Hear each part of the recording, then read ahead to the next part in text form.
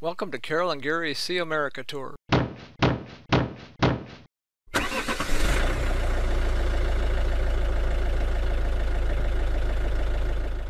Hello again, everyone. On January 25th, Carol suggested that we take Jasper to nearby Bayfront Park for some fresh air and exercise. Although this is a small park, it's only a mile from our campground, and the internet shows that there's a raised hiking trail through a marshy area in the park. We thought that this might be a fun walk, but when we arrived at the park we found that both entrances to the hiking trail were blocked. Dang. But since we were out, I decided to check out the neighborhood with the drone while Carol took Jasper for a walk.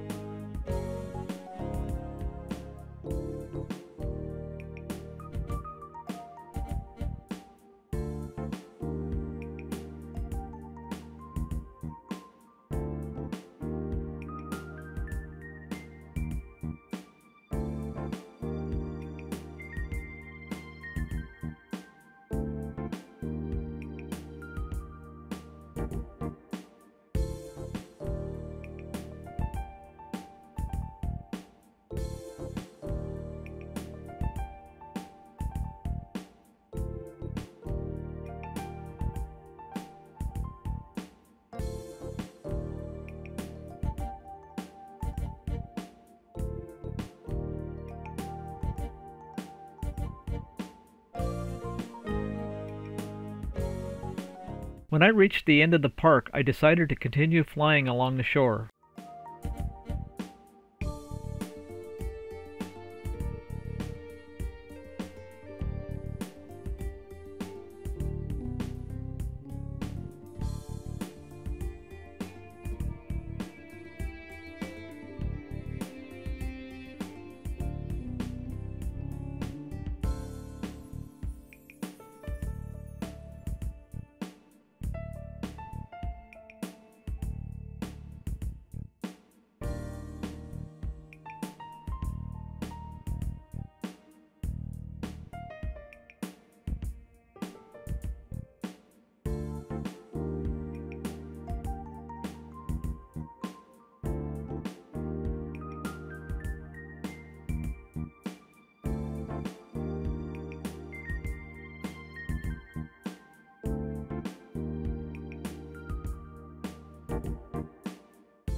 Notice these long docks that protrude out into the water. To refresh your memory, the body of water is Mobile Bay. We learned while visiting Fort Gaines a couple of weeks ago that the average depth of Mobile Bay is only 10 feet.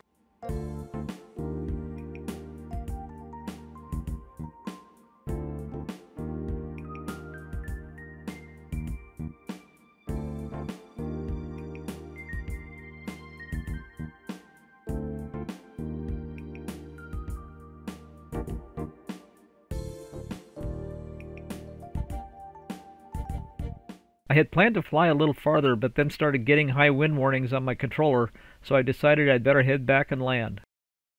This was a quiet little park with numerous picnic tables near the water and a small playground with a large slide and swings for the kids. Here's a picture of a large freighter headed into Mobile that passed by while we were walking at the park. I know that this was a short video, but with the coronavirus still going on, we're trying to keep a low profile and avoid large crowds. If you like this video but have not yet subscribed, please do so to be notified of future videos, and as always, feel free to share with your friends. Thanks for watching.